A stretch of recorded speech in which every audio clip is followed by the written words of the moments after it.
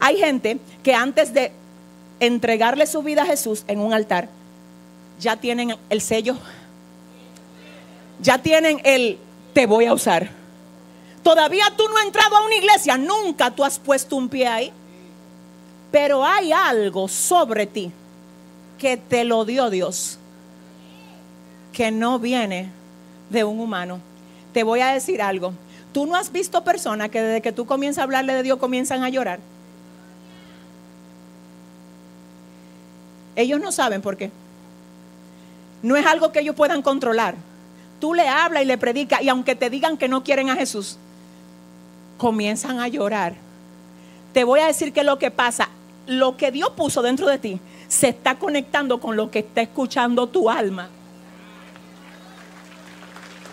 Y aunque tu corazón te está diciendo, eso es lo que yo busco, eso es lo que yo quiero, pero hay una voluntad humana que es la que le puede poner el tropiezo al propósito divino que se interpone. Y el alma detrás de ese muro, presa, dice, eso que tú estás oyendo, con eso es que yo me quiero conectar. Y desde detrás del muro el alma clama.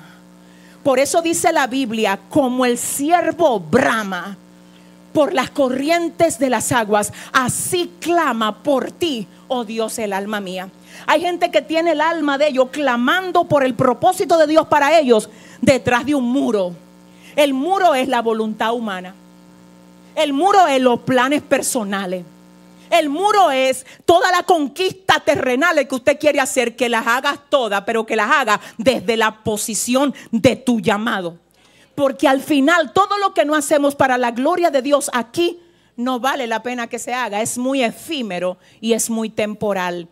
Te voy a decir algo, repito, gente que antes de ser cristiana ya tienen un toque especial de Dios, son personas llamadas por Él para algo mayor de lo que las palabras pueden describir.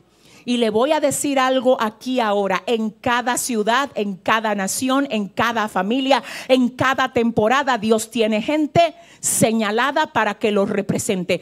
¿Qué es lo que obstaculiza entonces que Dios tenga representantes al nivel de lo que Él los quiere tener? La humanidad del ser humano. Satanás se metió en la línea que Él sabe que el humano persigue. Cuando Satanás fue a aparecerse a Jesús en el desierto, luego de él haber ayunado 40 días y 40 noches, dice la Biblia que le ofreció los reinos de la tierra. ¿Se acuerdan? Todo lo que es humano es lo que Satanás, todo lo que el humano quiere es lo que Satanás ofrece. Gloria humana, fama, reinos, dinero, oportunidades terrenales. Entonces la gente se inclina a ese sistema y eso es lo que Satanás ofrece. Dios ofrece que tú vivas para Él, que tú uses este tiempo de vida que Él te dio aquí para tener relevancia eterna junto a Él. Que tú uses la vida que Él te dio para que la agenda divina se lleve a cabo por tu contribución en la tierra. Eso es vivir con propósito.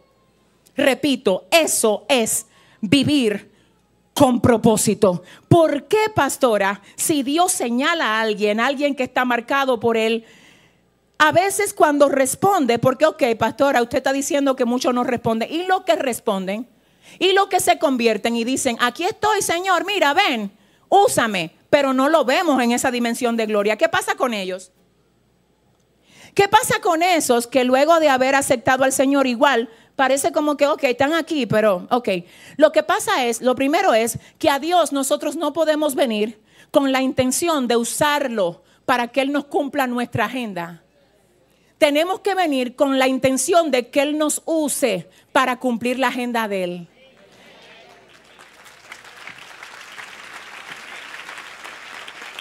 Dame un segundo. Hay personas, escúcheme, por Dios, escuche, que están ahogados persiguiendo cosas. Cuando usted se conecta con Dios, se da cuenta que lo menos importante que Dios tiene para dar son las cosas. Lo voy a repetir, lo menos importante que Dios tiene para dar son las cosas. Todo lo que hay en la tierra le pertenece a Dios. Cuando una persona entendió su propósito, habla como habla el apóstol Pablo, que dijo en Filipenses 3:8, todo yo lo he tenido por basura, contar de ganar a Cristo. Luego en Colosenses él dice, si ustedes han resucitado, pongan su mira en las cosas de arriba, no en las de la tierra. Hay gente que está ahogando su propósito por dejarse enredar por las cosas.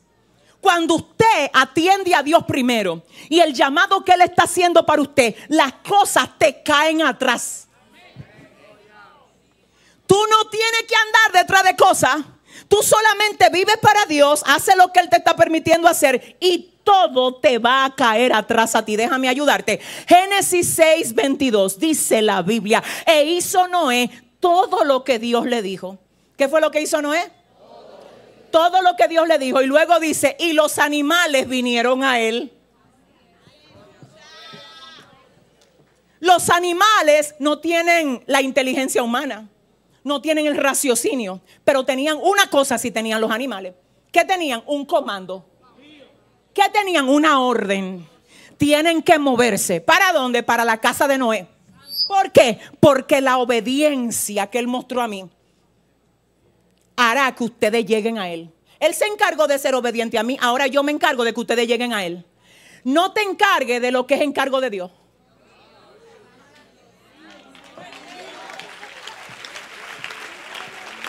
Escucha lo que pasa. Lo mejor lo tiene Dios preservado para los que le obedecen. Tú ves todo lo que tú consigues, gloria a Dios por eso, pero te garantizo que lo que Dios tiene señalado para ti es mejor pero tú te estás encargando de lo que Dios se quiere encargar. Dios te está diciendo, encárgate de tú obedecer a lo que yo quiero hacer contigo. Y yo me encargo de que a ti te caiga atrás lo que tú andas persiguiendo. No, pero espérate, aleluya. Dele la gloria, dele la gloria, dele la. Escúcheme algo. Le voy a decir algo fuerte a esta iglesia. Dice Dios, has gastado años de tu vida cayéndole atrás a un sistema muerto. Te quiero respondiendo a mi llamado. Dice la palabra que el Señor anda buscando gente que le diga, heme aquí envíame a mí. Esa, esa, parte de la Biblia, heme aquí, envíame a mí. No es de que para que usted se vaya a ser misionero para allá, para, para. No, no, no es para misionero nada más. El aquí, envíame a mí, es mira mi tiempo. Mira mis habilidades. Mira lo que yo sé. Mira lo que tengo. Todo lo que tengo, Dios, mira, lo pongo a tus pies. Heme aquí, envíame a mí. Hay un precio que hay que pagarle a ese llamado para que se pueda revelar. Y te voy a decir a quienes se le está complicando la cosa. Número uno, se le está complicando a la gente que tiene demasiados intereses desconectados de Dios. De Dios. Pero que no necesariamente son incorrectos ni malos. Solo están independientes de Dios. Entonces el Señor te está diciendo, tráemelo aquí. Que yo me voy a hacer socio tuyo y te voy a dar la victoria en todo lo que yo tengo dentro de mi agenda para ti. Y dentro de lo que no es de mi agenda para ti, yo te voy a alinear para que tú le des la espalda a todo lo que el diablo está usando para distraerte. De modo que tú no puedas avanzar en lo que ya yo señalé para ti. Dame un segundo. ¿A quién más se le está haciendo complicado obedecer al llamado? A los jóvenes. Aunque usted no diga amén, yo le voy a decir por qué la Biblia dice, la gloria del joven es su fuerza. ¿Usted ve? Entonces el joven, como está tan fresco, lleno de brío, yo no hablo de todo, estoy hablando generalmente, pero no totalmente. Muchos jóvenes sienten que tienen toda una vida para ellos hacer demasiada cosa con su vida. Entonces no, ahora no es tiempo de yo darme por entero a Dios. Eso se traduce de la siguiente manera, yo estoy muy joven, yo estoy muy fresco, yo estoy muy lindo, yo estoy demasiado new. Así que déjame esperar que yo sea un bagazo. Para entonces yo llevarle el bagazo de mi vida a Dios. Dice el Señor, yo no te di bagazo a ti. Así que no me guarde bagazo a mí. Ando buscando uno. Si usted quiere aplauda y si no, no. Ando buscando Ando buscando uno. Uno que venga y me diga, estoy disponible para cumplir con lo que tú tienes para mí. Vamos aquí, Salmos 89, versos 20 y 21. Hallé a David mi siervo hallé a David mi siervo, lo ungí con mi santa unción, mi mano estará siempre con él, mi brazo también lo fortalecerá. Número uno, ¿cómo así que Dios halló a David?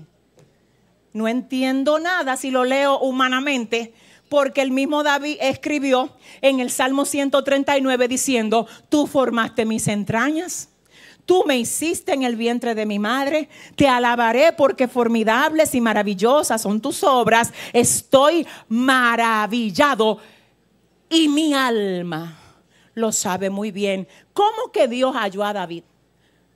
Salmos 89, verso 20. Hallé a David, mi siervo. Escuche algo. No es David el que formaron en el vientre, el que el Señor halló fue a David su siervo. Yo anduve buscando porque yo conozco al David que yo formé en el vientre. Pero yo a quien andaba buscando era a David el siervo. Yo sabía dónde vivía David desde siempre, desde que nació, desde que Isaí lo tuvo. Yo lo que estaba esperando era que se convirtiera en el siervo. A David yo siempre le he sabido la dirección a David. Ay, yo sé en qué torre tú vives, dice el Señor. También yo sé en qué apartamento. Yo sé exactamente dónde encontrarte al que tú estás ahora. Lo que pasa es que yo no ando buscando solo a David. Yo ando buscando al siervo. Esto se va a poner muy fuerte ahora. Yo quiero que tú le digas a tu hermano ahora mismo cualquier cosa, agárrate de mí.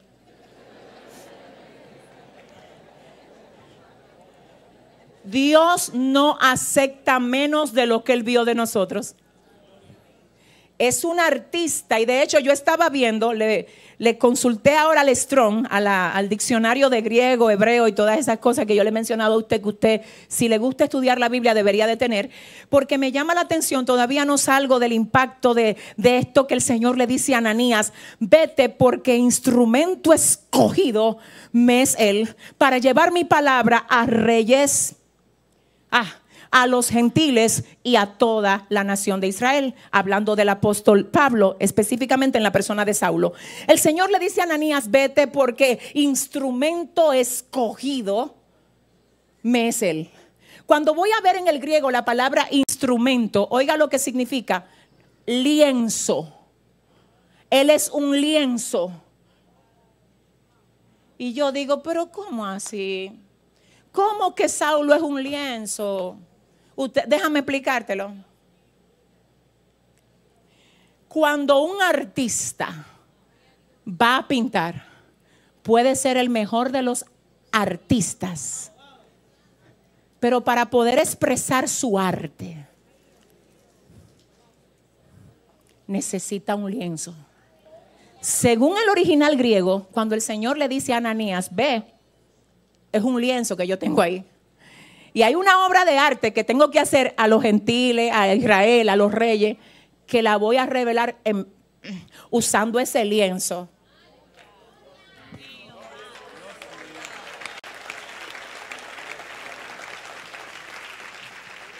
Mire, ay Dios, cuando la Biblia dice que el Señor se le aparece a Saulo, Saulo le dice dos cosas, dos preguntas. ¿Quién eres? Léalo. Libro de los Hechos, capítulo 9. Saulo le dice, ¿quién eres, Señor? La segunda pregunta, ¿qué tú quieres que yo haga? Eso es lo único que hay que preguntarle a Dios. Revélate a mí como tú quieres que yo te vea, porque yo todavía te estoy viendo a ti como el Dios que está allá y yo estoy aquí. No, tú eres el artista que quiere expresar su obra de arte por medio de mí. Yo soy la pantalla, tú eres el proyector. Vamos, si ese es el abasha y Dile al que te queda al lado, somos lienzos. Dios quiere proyectar lo que es por medio de nosotros. Tú sabes lo que le dijo Saulo, es a mí que tú me andas buscando, yo estoy aquí.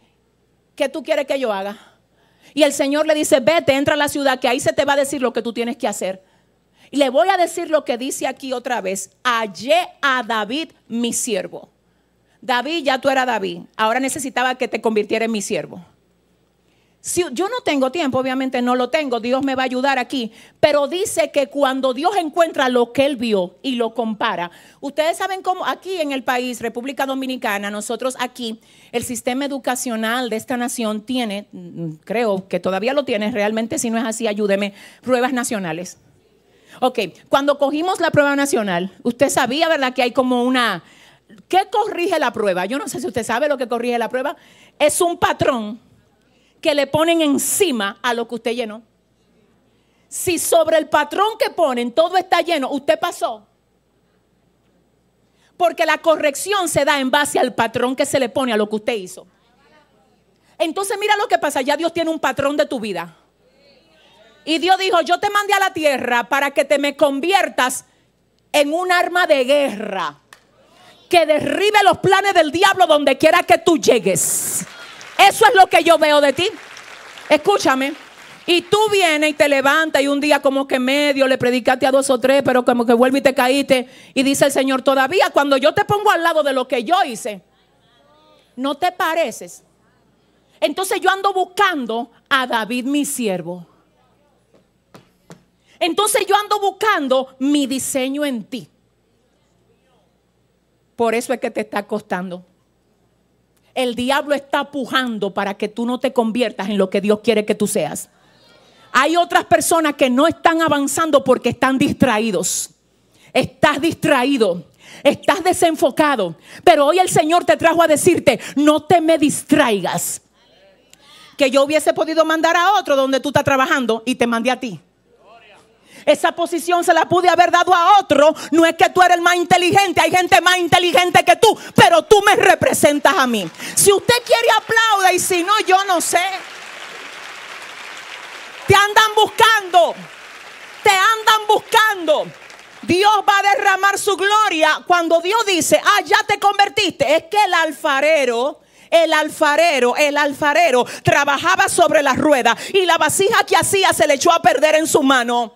Y él volvió, la recogió e hizo una vasija como a él le pareció mejor hacerla. Vasija hecha por él. Saulo, este es el diseño. David, te ando buscando. Te visité hace cinco años, no te parecía. Volví a los tres años, volví. Ay, pero por fin hallé a David, el humilde. El que no le importa si le ponen un plato en la mesa o no. El que no le importa que le digan, recoge queso, ve a ver todo lo que tú le puedas llevar a tus hermanos, llévaselo al campamento y tú no estás enlistado para el ejército. Pero ve atiéndalo a los que están enlistados. Y David con todo y unción se va a mover. ¿Tú sabes por qué se mueve a servir? Porque es siervo. Y la gente que califica para que Dios muestre su gloria a través de ellos no son los jerarcas. Son los siervos. Dios quiere una generación que entienda que tiene unción para servir, unción para levantar, unción para ayudar, unción para revelar al maestro a través de ellos. ¿Dónde están los siervos? ¿Dónde están los siervos? Hallé a David, mi siervo. Y esto yo lo conecté con lo que dice la palabra en el libro de Éxodo capítulo 40, versos 16, donde dice, y Moisés hizo conforme a todo lo que Jehová le mandó Así lo hizo. Y dice el verso 33 del mismo capítulo, finalmente erigió el atrio alrededor del tabernáculo y del altar y puso la cortina a la entrada del atrio. Así acabó Moisés la obra. Entonces una nube cubrió el tabernáculo de reunión y la gloria de Jehová llenó el tabernáculo. Porque cuando el Señor le dijo a Moisés, mira qué es lo que tú vas a hacer, ¿qué fue lo que Moisés hizo? Todo lo que Dios le reveló. Cuando Dios vio que todo lo que le reveló a Moisés era lo que exactamente estaba diseñado en el cielo, la gloria bajó. La gloria anda buscando un sitio donde bajar. Ay, no, yo no sé. La gloria anda buscando gente en quien derramarse. ¿Y por qué no viene aquí? ¿Por qué no está aquí? Porque tiene que ser según el patrón del cielo. ¿A quién Dios anda buscando? No es a Yesenia Ten. Ando buscando el paquete. Que, dime. Dios anda buscando la sierva que se llama Yesenia. Pero anda buscando también a Starling, a, Mildred, anda buscando a Laura, anda buscando a Juan, a Pedro, a Elena, anda buscando a Rodríguez, anda buscando a a todos nos anda buscando. Es más, te voy a decir algo, desde el lugar donde tú estás, Dios te anda buscando. Tú llegaste ahí como empleado, pero no como siervo. Tú te estás ganando un sueldo, pero en el cielo no te han puesto el primer cotejo de estás cumpliendo con la razón para la que yo te entré a esa empresa. Te andan buscando te andan buscando. El error de mucha gente aquí es, ya voy casi recogiendo, aterrizando para orar por ti. El error de mucha gente es que cree que Dios lo anda buscando nada más para que se pare aquí. Yo sé que a mí Dios me anda buscando y yo estoy aquí desde hace rato. Pero a mí no me dan parte aquí, es que tú no entiendes para qué que te andan buscando. Déjame decirte algo, en las cruzadas de milagro no solo se anda buscando el que va a predicar. Se anda buscando el que va a poner el sonido. Se anda buscando el que va a encender las luces. Se anda buscando el que va a armar la tarima. Se anda buscando el que tiene que llegar al lugar a orar primero. Se anda buscando las danzarinas. Se andan buscando los que van a adorar. Se andan buscando.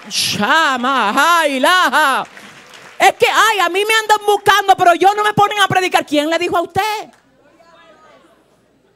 Tú sabes que tú el que pasa por aquí, por el frente de esta iglesia, anda buscando ver a alguien que se le parezca a Jesús.